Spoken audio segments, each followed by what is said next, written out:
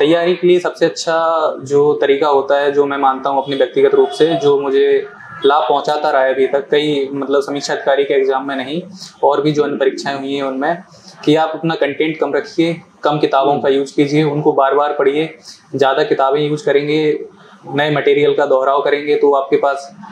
क्या है कि एक्सेस हो जाएगी सभी चीज़ों की तो फिर आप कुछ नहीं कर पाओगे। चीज़ों को थोड़ा रखिए लिमिटेड रखिए अच्छा कंटेंट रखिए, उसको बार बार पढ़ते जाइए, अवश्य सफलता मिलेगी। और एक और है कि अभ्यर्थी क्या करते हैं, जो मैंने देखा है, अपने साथियों को देखा, और नए जो मैं, नए अभ्यर्थियों को देखता हूँ टेक्स्ट बुक पढ़ते जाते हैं, पढ़ते जाते हैं। एम की जो प्रैक्टिस होनी चाहिए, उस पर ज़ोर नहीं देते। तो नए अभ्यर्थियों को ये करना चाहिए कि कम से कम प्रारंभिक परीक्षा जिस दिन हो, उससे पहले उनको कम से कम